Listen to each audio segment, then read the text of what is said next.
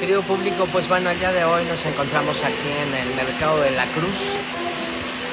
El lugar está prácticamente muerto.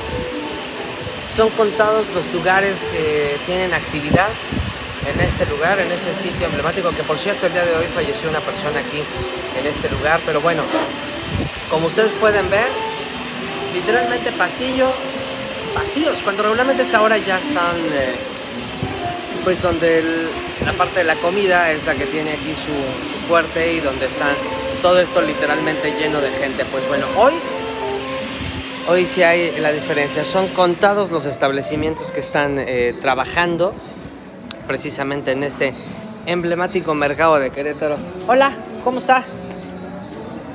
¿Cómo están pasando la contingencia? ¿Sí?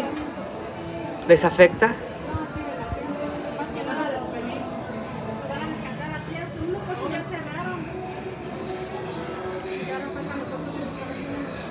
¿Se espera que se cierre por completo todo?